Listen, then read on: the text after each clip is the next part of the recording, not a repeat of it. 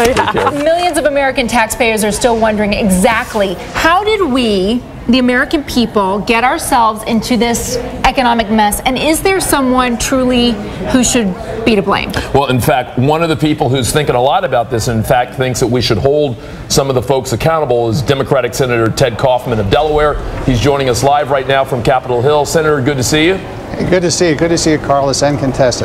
So Thanks Senator, for having me. Senator, it's good to see you again. So you wrote a scathing op-ed piece in today's Philadelphia Inquirer. Let me read just part of what you had to say. You said, quote, before Congress begins to write new rules, we must investigate any crimes that may have been committed, whether by local mortgage brokers or the biggest banks. Let's enforce the laws that were on the books and throw those who broke them in jail. And then I thought this was interesting. You wrote, if people rob a bank, they go to jail. If bankers rob people, they should go to jail yeah. Too. Um, Senator, you've introduced a bill that you believe uh, will look into some of these potential economic crimes. Say more about actually what that bill would do and what you're hoping to accomplish. Okay, uh, Carlos and Contessa, it's a bipartisan bill. Uh, the other sponsors are the chairman, uh, Pat Leahy, a Democrat from Vermont, and uh, Republican Chuck Grassley from Iowa. And the three of us have all agreed that uh, we have to look forward, we have to see what the solutions are and everything else. But the first thing we have to, uh, one of the things we have to do while we're doing this is make sure that anybody who's involved in financial fraud during this period or uh, should go to jail.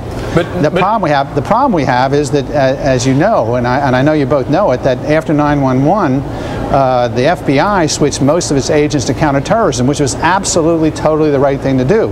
But we didn't fill in afterwards. So in terms of what this bill will do, right now there's only 200 and some uh, FBI agents concentrating on financial fraud.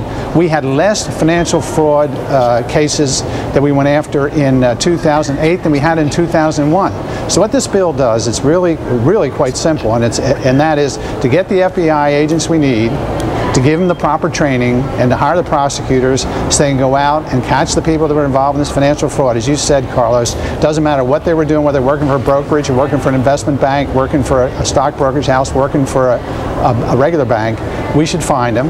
And if they're guilty of a crime, they should go to jail.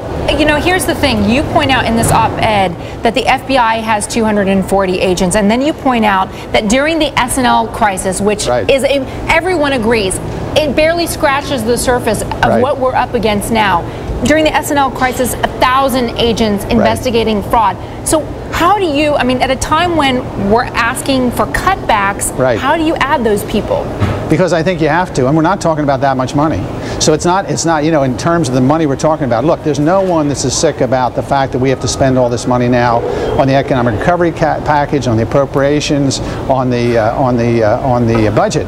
But we have to do it. I mean, oh. basically, we have a two billion dollar hole in the gross right. domestic product. We need a we need a big thing to fill it. And I'm just saying, while we're doing this, one of the things we do, and it's got bipartisan support, we will get it done, is to get the FBI just to go out and find it. Not just because you know know, we want to do it because we're vengeful or we want to get even or anything else, although lots of people I talked to since I introduced this bill believe that. But one of the things I want to do is just make sure that down the road, people don't say, sitting in a brokerage house or sitting in a, in a, in a mortgage broker and say, hey, listen, you know, last time somebody tried this, they went to jail. Hey, Senator Kaufman, one last question before sure. we go. A lot of cynics will, will say, Glad to hear what the senator is saying, but they say that every time. They said it yeah. after Enron. They said it right. after WorldCom. Right. Um, they've said it after uh, the S&L know, crisis. 100 year, uh, almost 100 years ago after the first big Ponzi scheme. And none of the big guys in large numbers ever really go to jail. Why should people hearing you have any confidence that there will be serious investigations and serious penalties to some of the uh, biggest and most powerful people in corporate America? Trust me, it's going to happen. I talked to Lanny Breuer, who's going to be the new head of the criminal division. I talked to Eric Holder, who's the new attorney general. David Ogden is going to be new deputy attorney general. They're all in the program. Nobody is going to get out of this because they're too big. What we need, though, in order to do this, these are very complex, especially when you go after the big guys. These guys don't just, you know, go to a jewelry store, throw a rock through the window, and grab the jewelry. It's very, very complex. So you need the kind of people that understand the financial fraud, that have the training and get the FBI and the prosecutors to do it. So this is going to, you know, this will work, and this is what we have to do uh, if we're going to send the right message to everyone. As, as you said, uh, I said in the op-ed, you know, if you rob a bank, I mean, if you right. rob a store, you go to jail.